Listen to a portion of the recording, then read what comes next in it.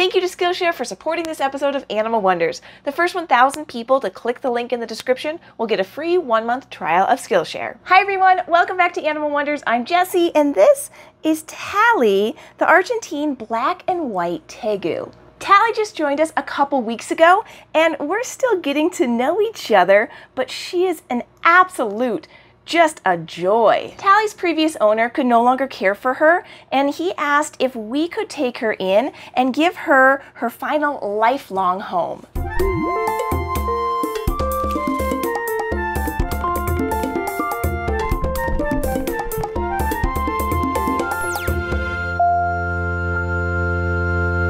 she is just using her tongue to discover everything, and she's decided she wants to go back inside and go get cozy. What do you think? It's evening right now, so she would be getting ready to go to sleep.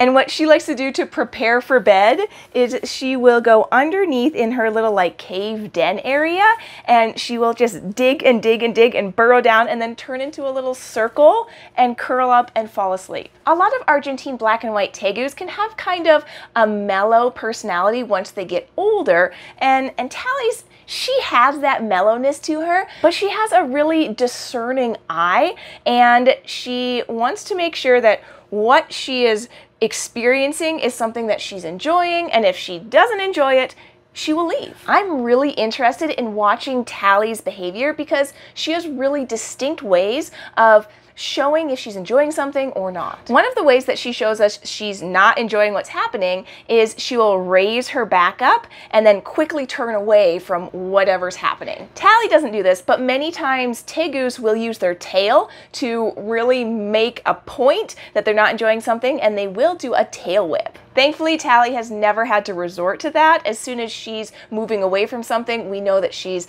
not enjoying it and we back off and, and we stop whatever is happening around her.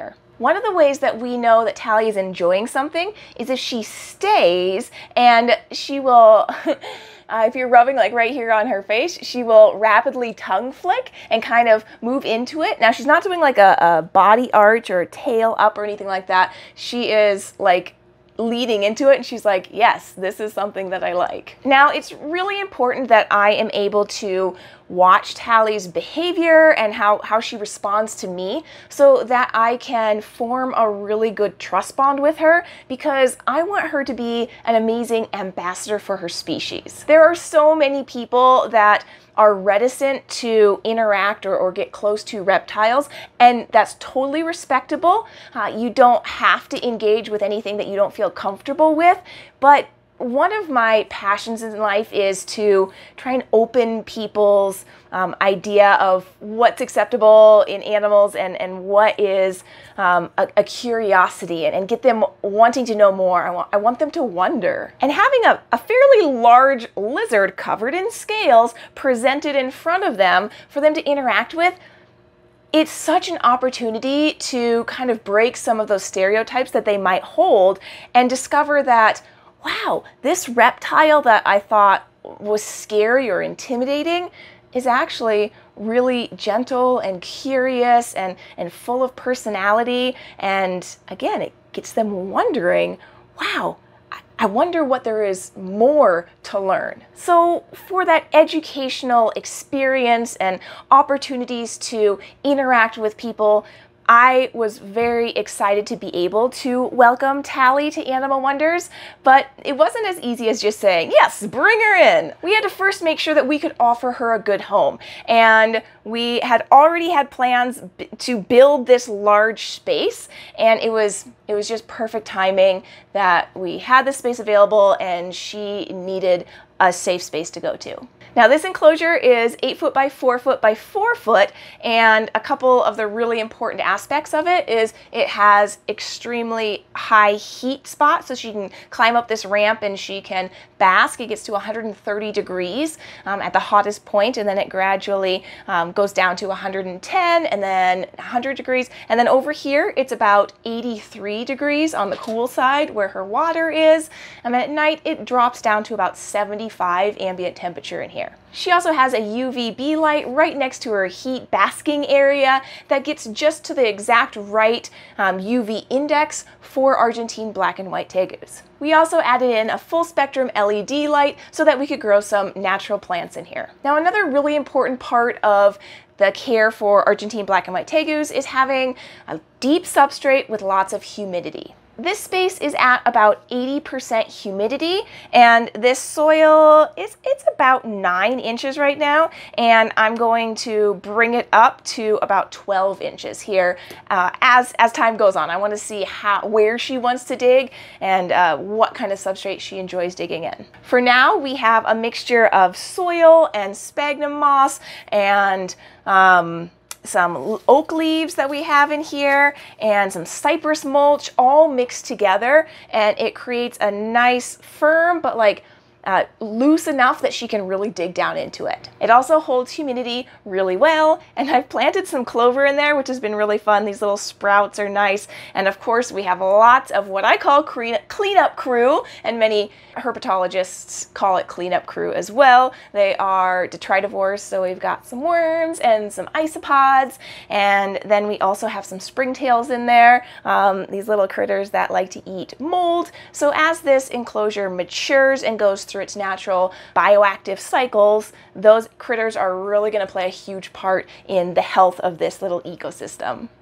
And of course, Tali is going to be doing her part by digging things up and aerating the soil and then pooping sometimes too. And uh, I'm fully expecting her to rip apart a lot of the plants. Totally fine that she does that. Um, we'll just replant and, and keep going. In the wild, Argentine black and white tegus have a pretty varied diet. They tend to eat fruit, insects, and small vertebrates like birds and small rodents. Tali's absolute favorite thing to eat is actually something called reptilinks. Reptilinks look kind of like a little sausage and they include a wide variety of food items all packed into one little casing and she just absolutely loves them. The wonderful thing about these is that they include all of the nutrients you would need in one easy and non-messy meal.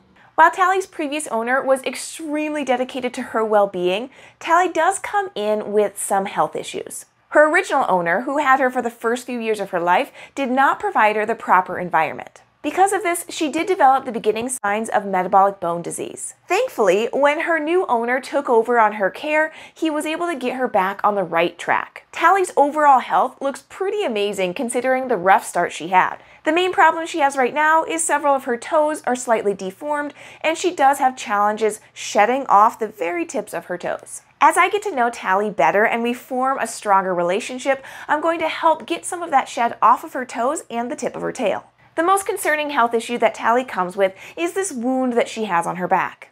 It was reported that Tali had a rock fall on her and it caused the initial injury. However, our veterinarian, Dr. Card, doesn't like the looks of it and how it's healing, so we're going to send in some samples to the lab to get a better idea of what we're dealing with. And once we know exactly what it is, we'll work on getting her the proper treatment so that she can be as healthy as possible. I hope you're as excited as I am about welcoming Tali the Tegu to Animal Wonders, and I'm excited to share more about her as we get to know each other a little bit better. Side note, I've always enjoyed dabbling in music, and Tali's beautiful mosaic of black and white scales reminds me so much of the swirling melody woven by the keys of a piano. My son has recently been curious about the piano, and we've been sharing some wonderful moments learning and playing together. I found this class on Skillshare called Piano Basics Learn Notes, Scales, and Chords, taught by Elijah Fox Peck. It starts at the very beginning and quickly covers the basics of piano in a clear and organized way. Even though I've dabbled for most of my life, I never took lessons, so I didn't know what made a chord or what the circle of fifths was. Elijah's class was a perfect place for my son to get to know the piano and for me to expand my knowledge. So thanks to Tali's gorgeous scales and Skillshare, I'm inspired to continue my journey on the piano. If you'd like to learn too, or for a refresher course, check out this class on Skillshare to help you get started. Skillshare is an online learning community with thousands of inspiring classes for anyone who loves learning and wants to explore their creativity and learn new skills. The first 1,000 people to use the link in the description or our code Animal Wonders Montana will get a free one-month trial of Skillshare. As always, thank you so much for watching and for all of your support. If you would like more Animal Wonders things, we're also on Instagram. We're pretty active over there and uh, Facebook as well. So you can, if you want more Animal Wonders, you can check those things out. And if you would like to support us monthly with a donation, you can head on over to patreon.com slash animal wonders and you can check out some of the content that we have over there. It's a big support. Your, your support goes directly to the animals and um, it's it's incredibly appreciated. So I hope you have a wonderful rest of your week, and I'll see you soon. Bye.